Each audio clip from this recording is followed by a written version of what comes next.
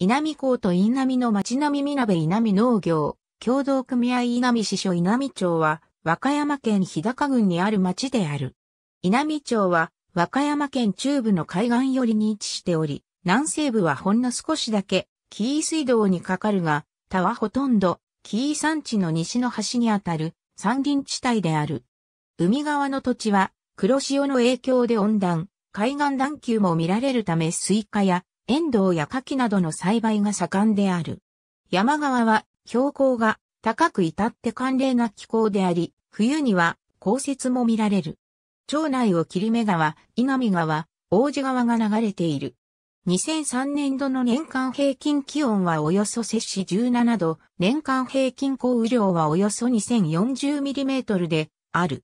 稲見町の中心集落稲見は、稲見港に面した港町であり、印南港は古くは、印南浦とも呼ばれる漁業の盛んなところだった。2000年の統計によるとである。梅、スイカ、エンドウやスターチス、千両などの花卉栽培が盛んである。栽培されているエンドウは、主に絹さやとうすいであり、市町村単位で全国トップの生産量を誇る。また、スイカは全国に先駆け小玉スイカの生産にシフトしており、西日本有数の産地となっている。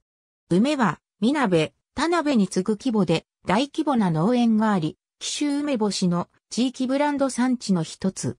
町の花である千両は山間部の新妻地区で栽培されているが、近年は生産者の減少と高齢化が進みつつある。また、栽培施設は川沿いに設けられているものも多く、2011年9月の台風では被害を受けた農家も多かった。また、新妻地区は新妻わさびの発祥地として知られたが、後に環境条件の変化などにより衰退。2012年頃より再生に取り組んでいる。各郵便局には、ゆうちょ銀行の ATM が設置されており、稲見郵便局では、ホリデーサービスを実施。稲見町内の郵便番号は、北東部が644から 02XX、南西部が649から 15XX となっている。なし、稲見町に大学や高等学校はない。稲波駅町内には西日本旅客鉄道規制本線が通っており、普通列車は1時間に1本程度の頻度で運行されている。